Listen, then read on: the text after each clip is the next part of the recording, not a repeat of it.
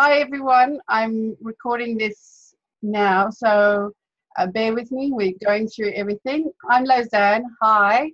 Thank you for joining me on this webinar. Um, it's really very important for me to share what I've learned and how my life has changed in the six months that I've been focusing completely on my health. So um, I put together a small uh, presentation just to uh, help those who love to see words. I am one of those who love to see words when explaining things. It just sticks better in our memories. So for those who like words, I've got words. Those who like audio, I'm talking the whole time. So, um, and we'll hopefully have some space at the end to ask some questions. Um, also, I only have the 40 minutes available, so we'll try and keep it short so we can have questions afterwards. So let me see if I can, yeah, let's go this one. Share screen and start here. Mm -hmm. All right. So, Claire, can you see that perfectly? Yeah, I can see that. Okay. Yeah. All right, I'm going to go into this. All right. So basic, these are photos of myself in the past year. Uh, the first one is with Denise Duffield Thomas last year. And um, I think it was at this stage of my life that I realized um, I needed to get my shit together because I am going to die with that amount of weight around denise is pregnant at that stage so and i'm almost comparatively the same size as her just with belly fat. Um, and it's been proven now time and time again that um, tummy fat is visceral fat as well so it's around your organs it can lead to diabetes and all that stuff. So um, in this last year um, a lot of health issues came up after that. So, and that has led me to follow a modified ketogenic diet. Um, so I'll be introducing myself. I'll do what is a ketogenic diet? Is a ketogenic diet for you? How to start a ketogenic diet? I just call it keto. So anyone, I can, I'll keep the ketogenic in a file, but um, I just go call it keto um, and where to find out more. So about me, as I explained um, about in the last year, I've discovered quite severe um, health problems. I was diagnosed with Graves' disease, which is a hypothyroidism. Um, my uh, score was off the scales. Um, I nobody in my family has it. I was the first. It is thought that it was caused by an infection I got somewhere, a virus, and then attacked my thyroid because I had stats for years and years going that nothing was wrong with my thyroid. Um, so I got to really, really bad T4 and T3 scores, and um, and with that, I was diagnosed with pre-diabetic and insulin resistant, which I always knew actually I had because I was diagnosed with PCOS um, in my 20s. Um, so things to do with insulin, things to do with hormones were always kind of in my background for health. Um, I left it to everyone else to sort out, so either through medication or, but I get bored with medication. Honestly, I get bored. So when someone says to me, you're going to spend your rest of your life on this medication because your thyroid won't be able to work again, um, I, I said, all right, I'll try it for a little bit, but then I'll stop. so I, in the meantime, I'm trying to find a way of replacing the medication. I found I had to change my lifestyle. So um, I started down the old route of eating less, eating more greens, doing more protein, um, exercising six days a week, an hour a week, uh, hour at a time, I was knackered. I couldn't I couldn't sustain it. I and then I crash. I have a piece of something that I can't have on the diet, and I would crash. Um, I would feel guilty. I would feel um, oh, not worthy of ever having a lifestyle which everyone else boasts about. They found the lifestyle that makes them happy and, and all that stuff. Um, and I just thought that was out of my reach. It was completely out of my reach. So I started reading, finding out more, and as life is, when you start looking for things, it things come to you, and you try it and see if it works, and then move on if it doesn't. Keep looking, keep researching. So um, I started looking for a better answer. I knew I could get off the pre-diabetes um, watch list just by decreasing the amount of carbs I ate. But I wanted to also feel good doing it. So this has led me to keto. And um, and definitely through the process of starting keto, I did a started off very um, with a really rigid ketogenic diet. That's the basic one. And then found out there's actually several other types of keto diets, modified. Um, and at this stage, I'm on a fat adapted one, so it gets you to a ketogenic state, um, but still including carbs. Um, and that is work based for me because my hormones and things and time of month definitely dictates what my body needs. And i found that out just by listening to my body. So um, what is a ketogenic diet? It's completely different to what we know about current diets. It's what you know upside down. It is um, mostly fat um, intake your calories are mostly taken from fat. Um, ketogenic diet is the process of changing from using glucose or carbohydrates as fuels to use dietary fat and body fat as fuel. Um, the, the, diet consists of a high fat, low carbohydrate, and mo- moderate protein intake. And with fat, I'm going to, when I talk about dietary fat, I'm going to specify, specify from the beginning. I do not mean deep fried stuff or bad oils. We all know there's a difference between them by now. So when I say high intake of fat, I mean good oils, avocado, um, salmon, omega 3, all those type of oils. So I'm not going to explain it throughout the that fat when consumed on the ketogenic diet, needs to be in its purest basic form. So, um, yeah. And why change to a fat burning diet? So, that's the biggest question. But for me to, to answer that, I need to explain why it is better on a ketogenic, on a fat burning um, system rather than a carbohydrate system and um, just keep my time. Um, so we consume carbs. So I'm going to explain this in carb burning system first. So this is when you have potatoes, bananas, bread, pasta, sugar, fruit, all that stuff. So consume um, consume carbs. We carbs get broken down into glucose, and that creates energy we when we don't use all the energy, so our cells, our muscles don't use the energy, immediately it gets stored as glycogen. So, and glycogen is stored in the liver and muscles for immediate release. So, when you really need to run, you need that energy source in your muscles. But when that space in your muscles and liver, anyone heard about fatty liver? Yeah, this is it. Um, then the glucose is converted to fat and triglycerides, which is really bad for heart health um, and cardiovascular health.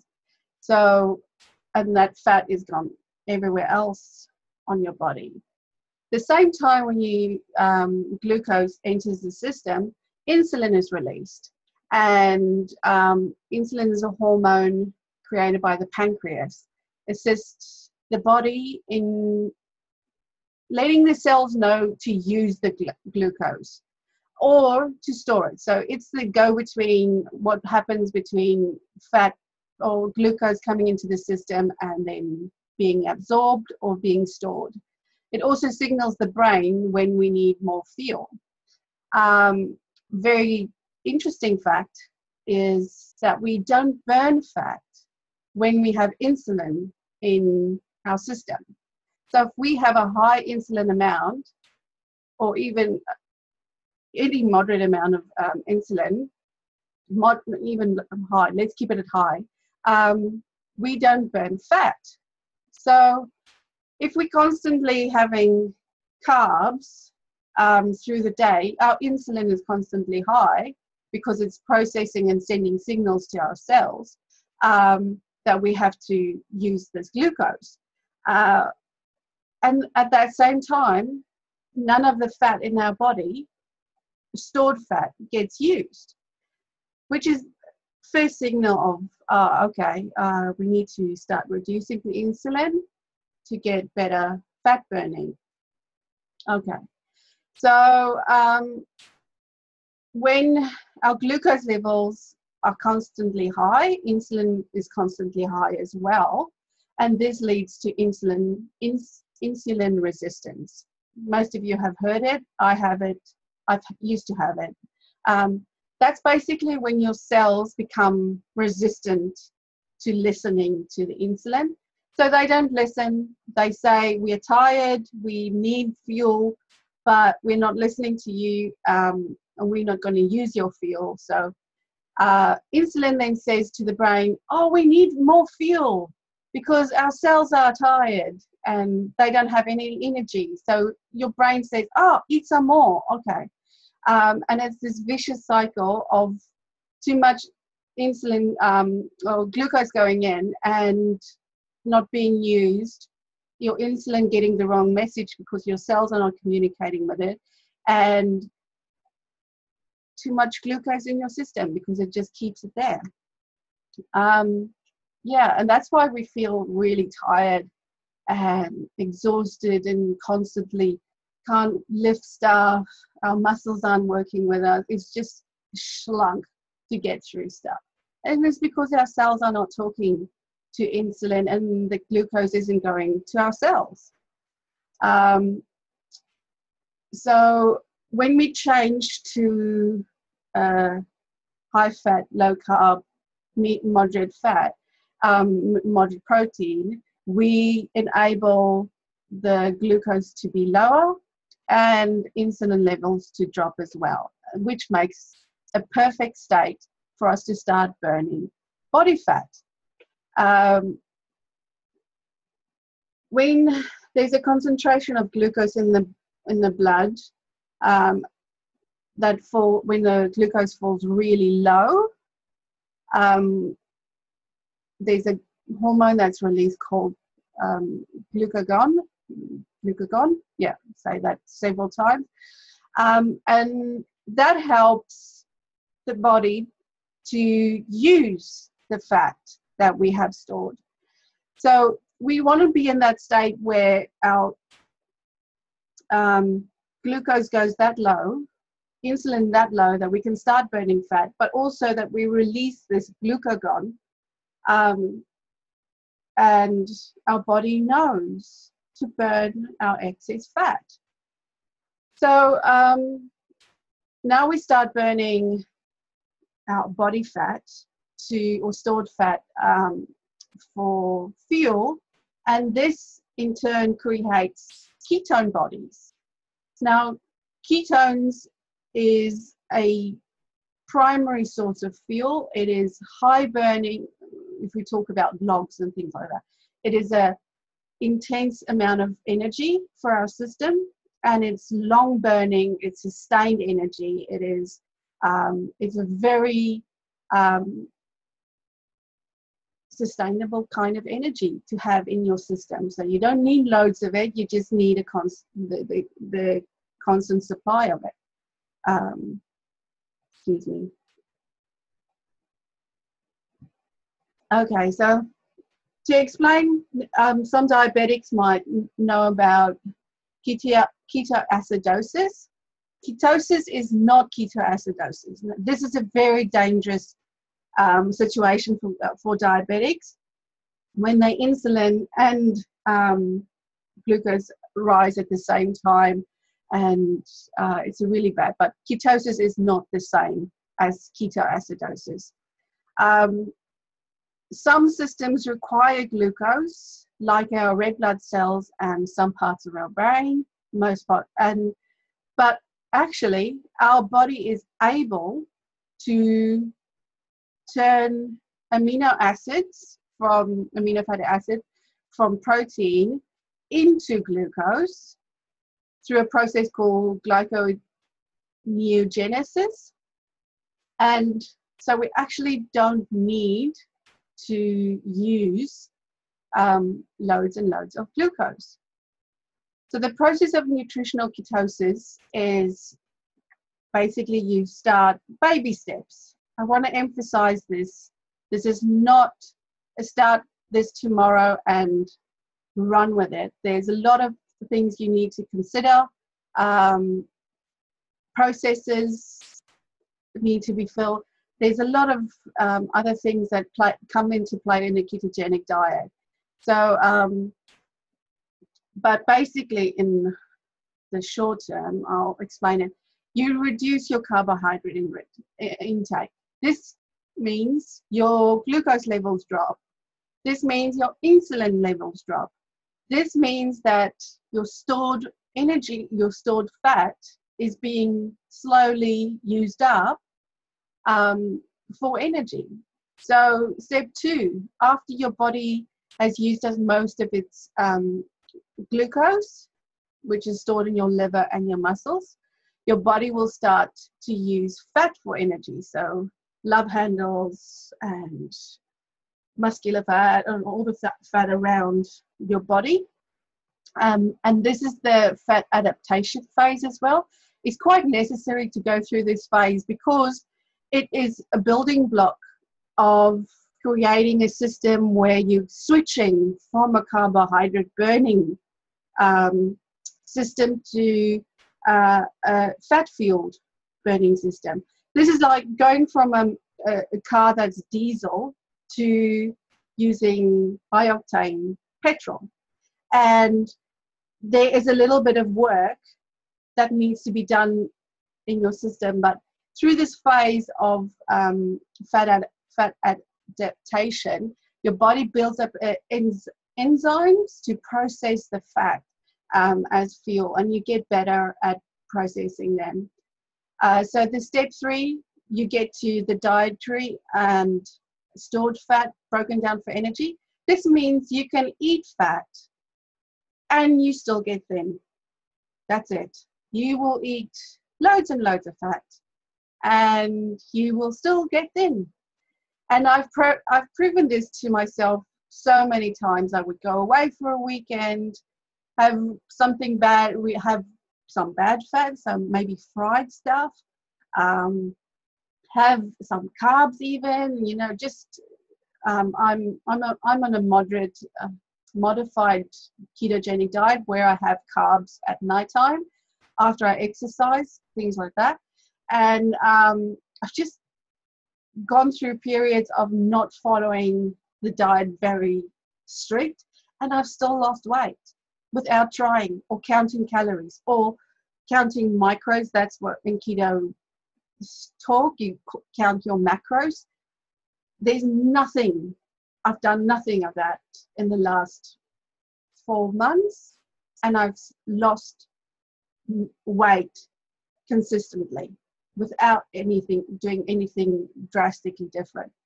Obviously, you start living differently. You crave water, so you drink more water, which is good because it eliminates lots of toxins. You um, eat stuff that makes you feel good. You start feeling, well, this is what my body craves and this is what my body serves my body. So you, you your mind needs some time to get with what's going on in your body as well. So this whole fat adaptation phase is very important, not just for your body to get into the system, but for your system to also your head to get around it. All right, I'm getting close to my end. So, but basically, we want to get to where our body is using the fat um, to turn into ketones, which we burn for fuel, and this is called ketosis. Um, when we are in nutritional ketosis, why nutritional ketosis? Why do you say that? So, I quickly, there are products out there that um, I'm not going to say this correctly, so I'll just say it is a product that you drink or eat and it adds ketones to your body. Exonerous or something they call it exonerous ketones. Can't remember the name completely, and with my accent, I'm going to say it wrong anyway. So, um, but you can have keto, uh, ketosis on pure dietary, what you put in your mouth um, from whole foods and from whole fats. So um, I'm focusing today completely on nutritional. So what you cook, what you eat, and what you can physically see. So when you're in nutritional ketosis, your blood sugar and insulin levels drop, your levels of HDL um, your good cholesterol increase. For people who are on medication for cholesterol and on Flora margarine, I'm talking to someone very specific now that I know about. Um, I would prefer prefer you to try a keto diet before um, committing to a margarine um, replacement to get your HDL levels better or up um, you start burning stored fat and dietary fat, which means you lose weight. Visceral fat, that's the fat around your organs. And one that I was completely petrified about because I've never had a really big tummy, but after my second kid, my tummy just kept on growing. So I knew visceral fat was the thing that was going to kill me. And there was also the thing that escalated my insulin resistance, which escalated my um, diabetes scores and my thyroid. So um, I'm very happy that my visceral fat is starting to go as well.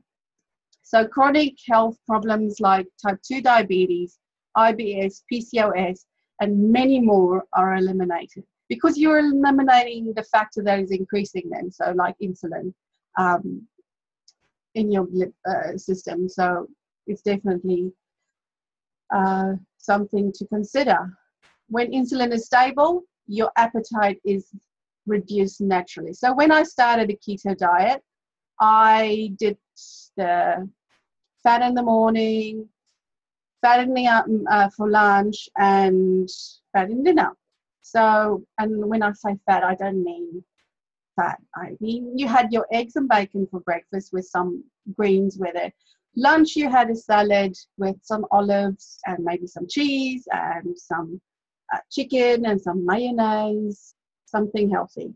And dinner, you would have um, something the same a piece of meat, uh, some sauteed greens and vegetables and butter with some, uh, what else?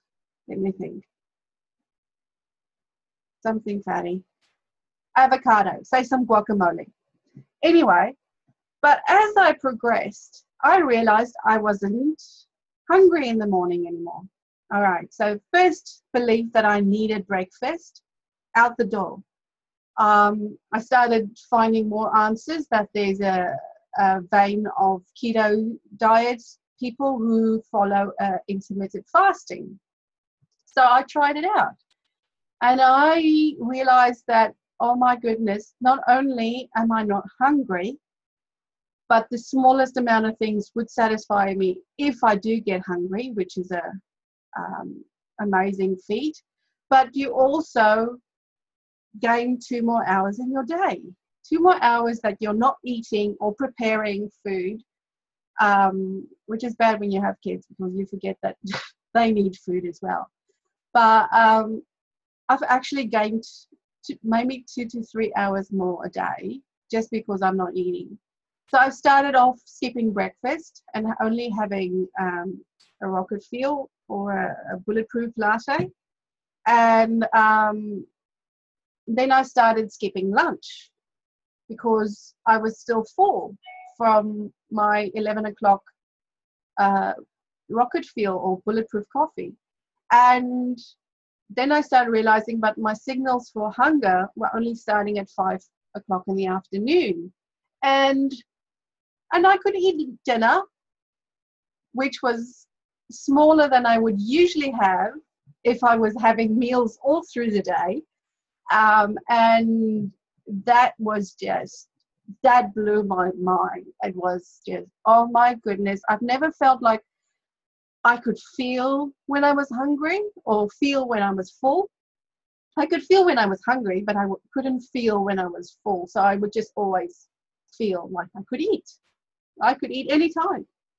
And um, with intermittent fasting, I started realizing, oh, I can listen to my body. My body is telling me something. And oh my goodness, I don't need a big plate full of stuff. I need this much. And I can stop and feel really satisfied. So by process of elimination of getting carbs and insulin out of my system, I've actually gained the ability to listen to my body, to do things for, my body that um, serves it. And that in itself is amazing. So, um, yeah. The 20 kilos is a consequence of me following and being able to listen to my body. How amazing is that? So um, I'm almost finished. Um, our time is nearly up. Uh, is a ketogenic diet for you? There's some things you can go through, like like I said, you, you can't stop eating. 30 minutes later, you're still hungry.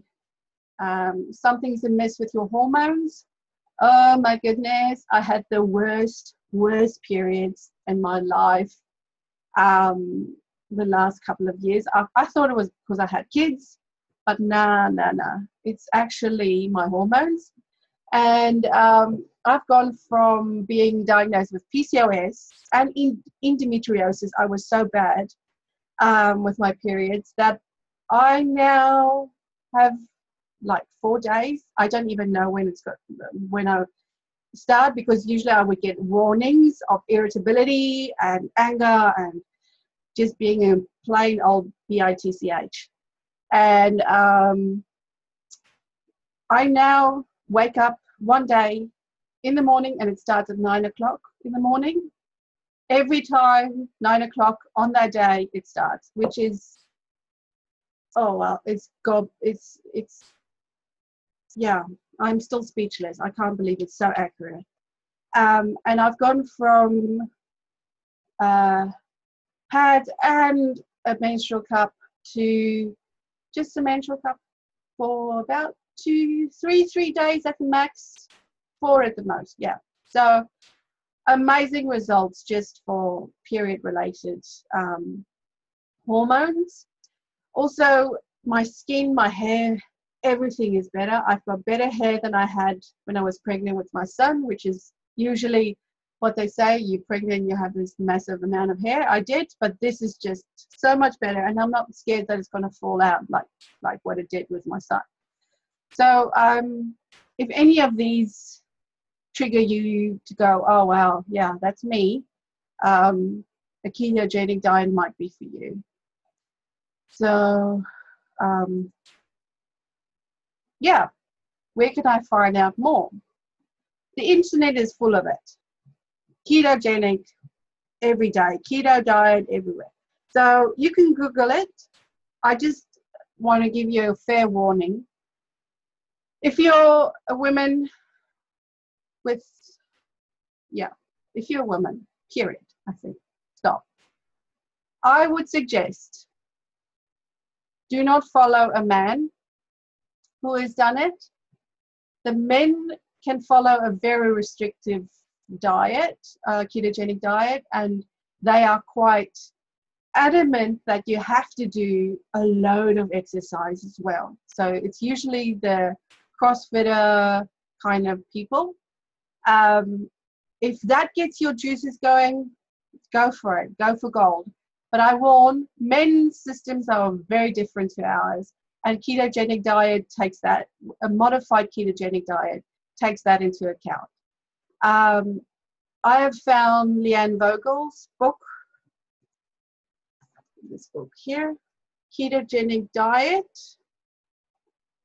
Sorry, that's upside down, but by Leanne Vogel. She is, uh, she runs Healthy Pursuits. She does online courses. You don't have to buy the book, but I bought mine from Amazon what, like two months ago, a month ago. And I tell you what, it is worth every American cent that went into it. It's not much, it's like 30 something American dollars, which is a little bit more than us. But um, so yeah, I, I found that that could be um, the thing to do. Did I just cut that off? Sorry. Um, and also, break back. Um, I'm going to start a group which will be focusing on health and all its meanings. So I'm very passionate about health of women specifically, um, but not just health in the sense of feeling good and um, being off medication. I mean health in many aspects, like um, our health in finances, our health in our families, keeping them healthy, um, our health in our relationships, not with with our husbands or our partners, but with our friends as well. Um, our health in mental mental health is very important to me, and I'll share um, some of my struggles with mental stuff, health stuff, um, a little later in this month. I'm I'm planning a little bit of a, a reveal on a share thing I'm going to do.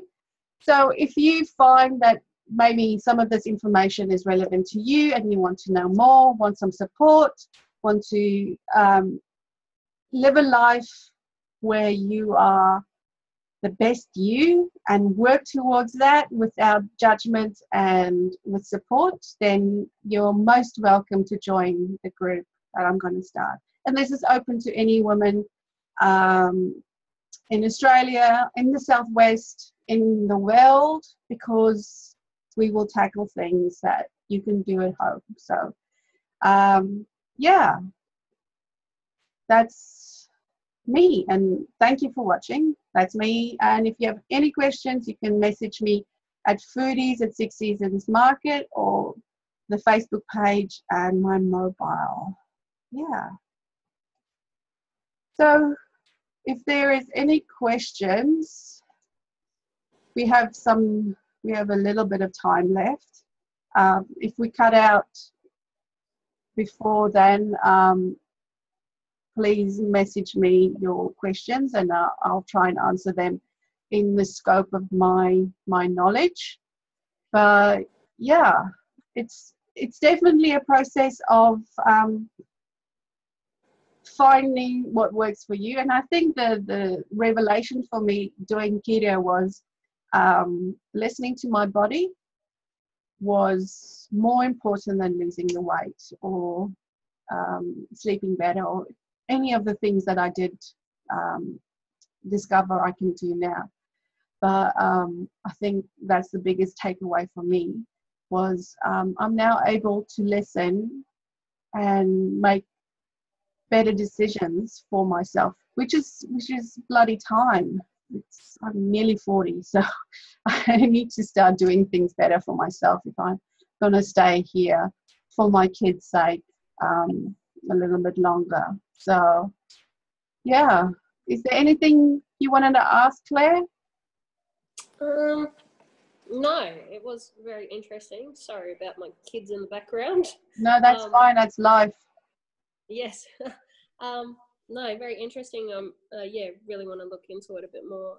And um, yeah, um, I myself is probably in the same boat you are. Like, wasn't ha- not happy with my body, and um, yeah, I've sort of put on a bit of weight in the last couple of months, and Mm, yeah, same thing. I'm trying to lose it and looking at different ways to do it. So, yeah, and pro- probably where you started, like I'm been working out six days a week for the last two weeks, and um, yeah, it is hard. It's hard to get to the gym, and mm, yeah, looking for the first, like I've changed my diet a lot. I'm eating a lot healthier, um, but yeah, the, the same thing. Like, what do I go for? What foods do I go for? What works, sort of thing, and what doesn't. So mm. yeah, definitely um, would be interested in looking into it more.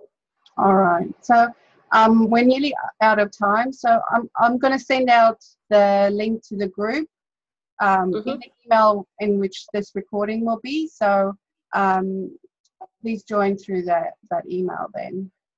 Yep. Oh. Okay. Sounds good. Right. Thank you for joining me today. Time. And um, thank you for, for listening, everyone. I really appreciate it. And I'm here for your help uh, to help any which way you need. So let me know. All right. All right. Thank you, Claire. Thanks. Bye. Bye.